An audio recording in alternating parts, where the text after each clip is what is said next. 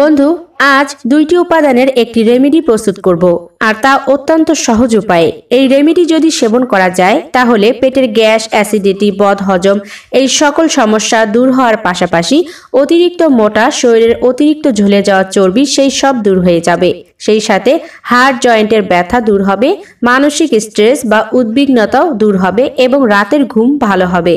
আয়ুর্বেদিক ঔষধের ধরনই এরকম যে, আপনি একটা রোগের জন্য যদি সেবন করেন, তাহলে আপনার দেহ থেকে আরও কয়েকটি জটিল রোগ দূর হয়ে যাবে। তা কোনো ধরনের পার্শ্ব প্রতিক্রিয়া ছাড়াই। বন্ধু, চলুন আজকে এই রেমেডি কোন দুইটি উপাদান দিয়ে তৈরি করব, সেই উপাদান দুটির সাথে প্রথমে পরিচিত হই এবং কীভাবে তৈরি করব তা জেনে নেব। আরও জানব এর সেবন বিধি। আর নির্দিষ্টভাবে এই রেমেডি খেলে দেহ থেকে কোন কোন রোগ দূর হয়ে যাবে। এই দুইটি উপাদান আমরা ব্যবহার করব আজকে। আমরা এই রেমেডিতে প্রথম উপাদানটি হলো মেথি। মেথি বা মেথি বীজ বা মেথি দানা, যে নামেই বলুন না কেন, উপাদান কিন্তু এই একটি। বন্ধু, এই মেথি যে আমরা এই রেমেডিতে ব্যবহার করব, তা কিন্তু এক চামচ পরিমাণ করে ব্যবহার করব। মেথি অবশ্যই বাজার থেকে কিনে আনার পরে ভালো করে ধুয়ে রোদে শুকিয়ে নেবেন, কিন্তু ভেজে নেবেন না, অর্থাৎ আগুনের সাহায্যে আমরা একে শুকনো করব না। রোদের তাপে ভালো করে শুকিয়ে মচমচে করে এয়ারটাইট বক্সে ভরে দুই মাস পর্যন্ত ব্যবহার করতে পারব। দ্বিতীয় যে উপাদানটি তা হলো আজওয়াইন বা জোয়ান দানা। অনেকে হয়তো কখনোই কেনেননি, এর সাথে পরিচিতও নন।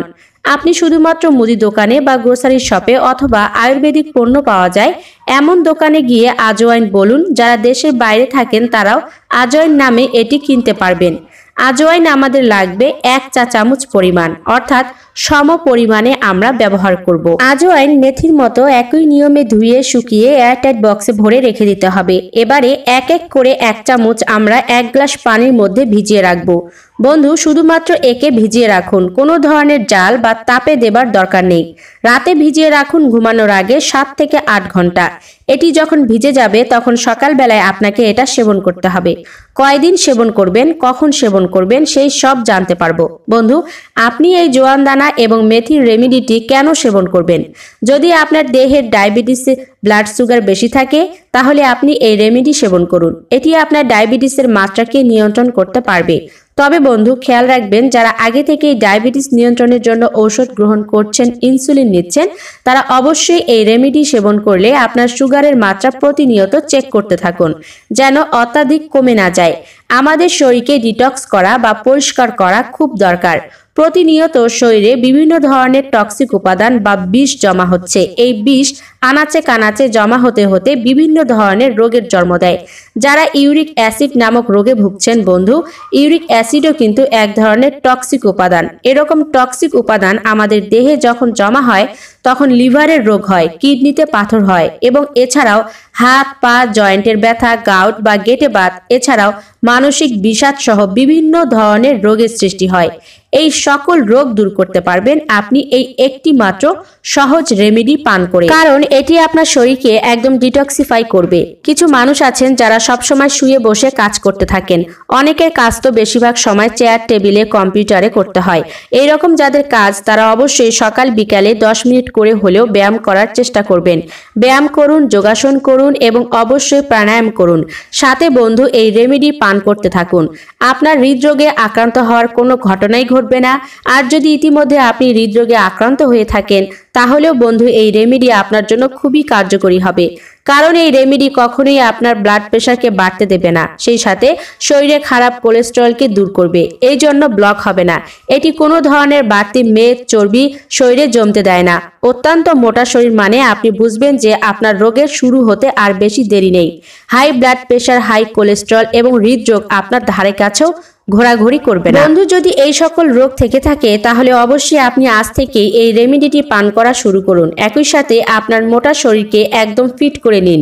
বাড়তি ওজন ঝরিয়ে ফেলুন এবং সেই সাথে high blood pressure, high cholesterol এবং হৃদরোগ থেকে সারা জীবনের জন্য মুক্ত থাকুন।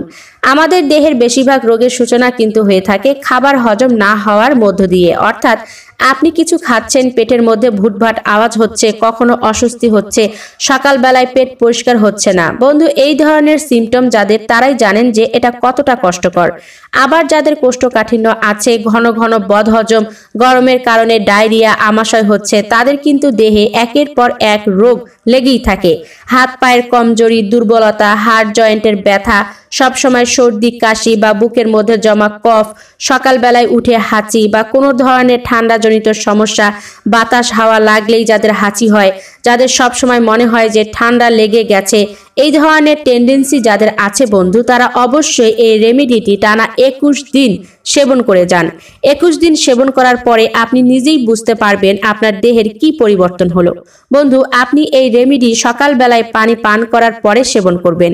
অবশ্যই সকালে ঘুম থেকে উঠে আপনাকে পানি পান করতে হবে। দুই গ্লাস পরিমাণ হালকা কুসুম গরম পানি পান করতে হবে।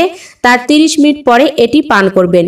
বন্ধু, রেমিডিটি আপনি ছেঁকে নিন এবং তারপরে এই মেথি দানা ও জোয়ান দানাকে চাইলে খেতে পারেন, চিবিয়ে বা পেস্ট করেও একে খেতে পারেন অথবা শুধুমাত্র এটি চিবিয়েও খেয়ে নিতে পারেন এবং তারপরে যে পানিটা আপনি ছেঁকে রেখেছেন, সেই পানিটাও আপনি অবশ্যই পান করে নেবেন।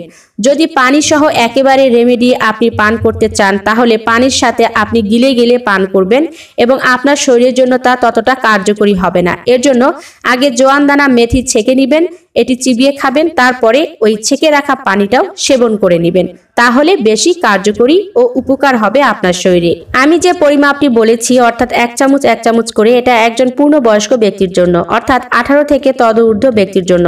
বয়স কম হলে এর পরিমাণ কিন্তু কমতে থাকবে, তবে গর্ভাবস্থায় রেমিডিটি সেবন করা যাবে না। এবং যাদের রক্ত পাতলা বা যারা রক্ত পাতলা করার জন্য ঔষধ সেবন করছেন, তারা এই রেমিডি সেবন করবেন না। বন্ধু, এই ছিল আমার আজকের ভিডিও ও ভিডিওর আলোচনা। আশা করি আজকের ভিডিও দেখে আপনারা অনেক বেশি উপকৃত হবেন। এবং আমি ভিডিওতে যে রেমিডিটি যেভাবে প্রস্তুত করে দেখিয়েছি, খাওয়ার নিয়ম জানিয়েছি, এভাবেই যদি আপনারা প্রস্তুত করে সেবন করেন বন্ধু, তাহলে যেসব রোগের কথা বললাম, এই সকল রোগ আপনার দেহের আশেপাশে কখনোই ঘোরাঘুরি করবে না। আপনি আজীবন সুস্থ থাকতে পারবেন রোগ মুক্তভাবে বেঁচে থাকতে পারবেন। আশা করি ভিডিওটি বরাবরের মতো ভালো লাগবে। ভিডিওটি ভালো লাগলে লাইক করুন কমেন্ট করুন, ও সেই সাথে বন্ধুরা অবশ্যই বেশি করে শেয়ার করুন। সবাই ভালো থাকবেন, দেখা হচ্ছে পরবর্তী ভিডিওতে ধন্যবাদ।